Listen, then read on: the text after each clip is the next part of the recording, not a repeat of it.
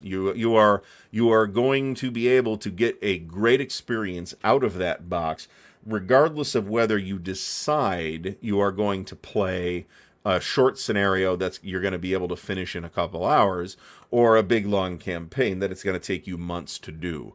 There are also people, you know, it's not just the practicality issue.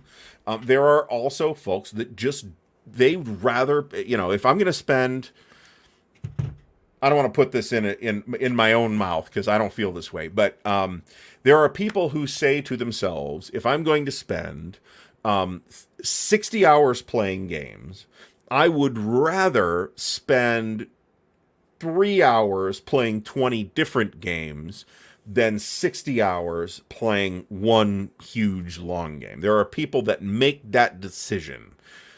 I don't feel that way, but I don't think there's anything wrong with saying that. There's there's I think a reasonable uh I think a desire to try and experience a lot of different games is completely reasonable.